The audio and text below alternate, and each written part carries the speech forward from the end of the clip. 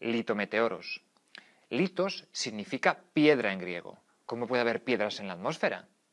Hombre, tanto como piedras no, pero sí es bastante común que haya polvo arrastrado por los vientos. Es lo que llamamos calima. Y en Canarias lo sufren bastante a menudo, cuando polvo procedente del desierto del Sáhara es arrastrado por el viento del este hasta las islas. A veces, como podéis ver en el vídeo, se producen unas fabulosas tormentas de arena en ciudades cercanas a los desiertos. ¿No es increíble la meteorología?